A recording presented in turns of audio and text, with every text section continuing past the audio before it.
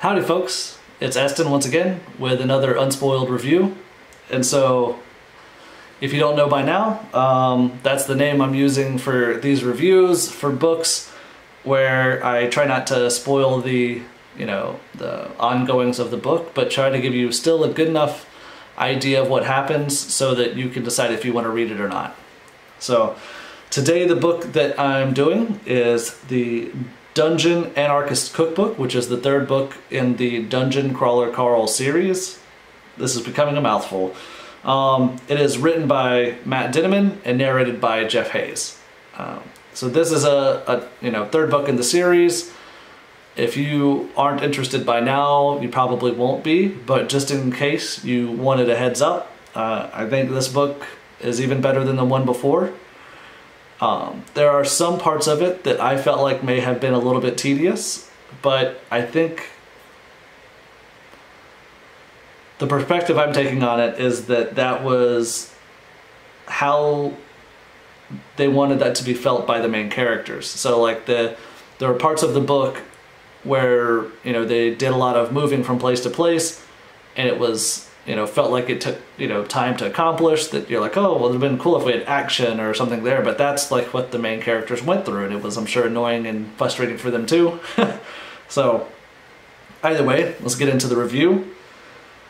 Um, the book itself, once again, I improved the score on it. I, I said that it was, the book was a 4.875, narration was a 5, overall increase up to 4.9. Uniqueness, um, I left it at a five. Usually I start to reduce the uniqueness of a book as I go, as the more I read them. But this particular series, it, it's like every book the narr or the author has brought something new to the table that um, makes it different from the one before. And so in this book, we're getting a very realistic expression for how the alien ser- the aliens, you know, interact with the humans in a financial sense. So, is what I mean by that is that you know by now you know that you know this is this whole dungeon making experience is a way for aliens to make money. Um, this is a business for them, and um, in other books in which aliens kind of take over the world and gamify things, they seem and they come across as like like they have everything together like they are amazing like maybe they have some political issues that get exploited but that they are highly advanced they have you know plenty of funds and money to do whatever they need to um, but that's just not the case in this series. Like we see an alien series that is you know running out of money low on budget and you know it's like when you play a game that had a low budget or you watch a movie that had a low budget there's some there's some flaws right? Like there's some things that they had to scrimp on and that's what you get to see in this book. Um, and that, i find that kind of exciting in the sense that when that happens you don't know what's going to go wrong right? In a perfect world you can sometimes have a prediction as to how things would go. It's like okay well you know well they would want things to be challenging in a particular way and so they would make you know some decisions for that and now you know something might break and it could break a whole level and you don't know because you know they might not have thought it through or they might have you know not paid enough money to reinforce something you know who knows right?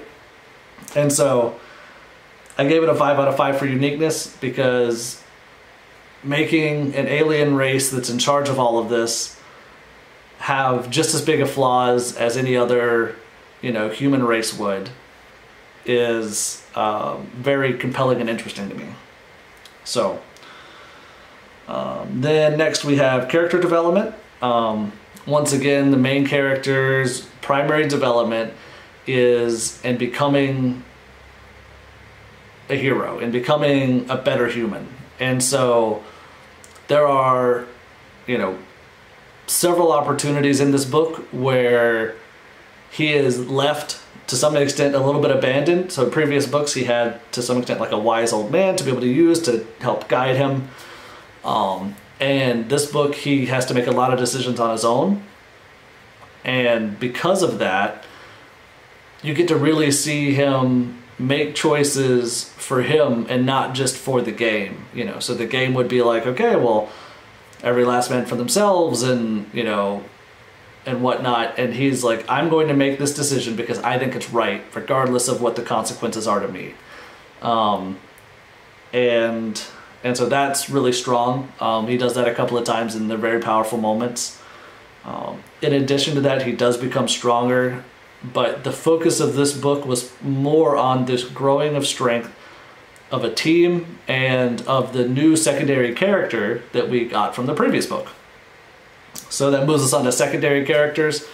It'd be an easy five out of five. Um, there almost is too much focus on secondary characters. If the primary character didn't have a strong of a story in character development, then um, then I might have had to take off points there. But the secondary character is is a lot of focus in this um, in this book, and you really get to see her grow in such a way that it becomes, you know, she starts out to feel very useless, and by the end, she's like one of, you know, the more more useful characters in the series. I won't say you know how that happens and, and what the process is for that, but um, it's it's a very impressive you know growth. She does things that you know you really like to see in other books. It's like, wow, like that was amazing. Like oh my gosh, those are really big, powerful moments, and um, and you get all of that. And so secondary characters, easy five out of five. Um, and this one, because we get to follow and see that secondary character growth, we really get to start to exploit the magic system. And that's where things start to get interesting for me when it comes to magic. And so the previous, the, the main character is more about crafting and not so much about magic. And his crafting, it's like his problems are kind of solved for him. And so we don't get to see the intricacy of the system.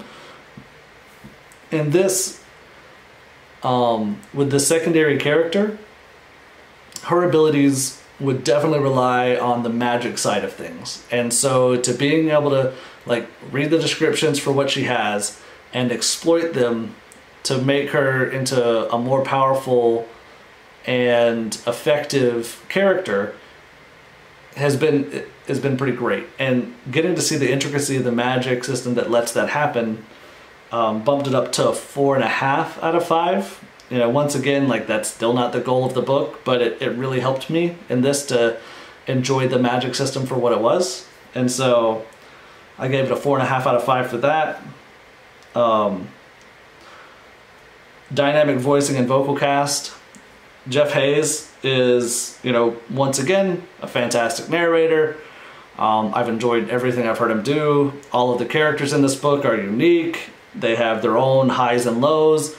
Um, when someone is confused, you can tell it. Um, mortified, you can tell it. Devastated, you can tell it.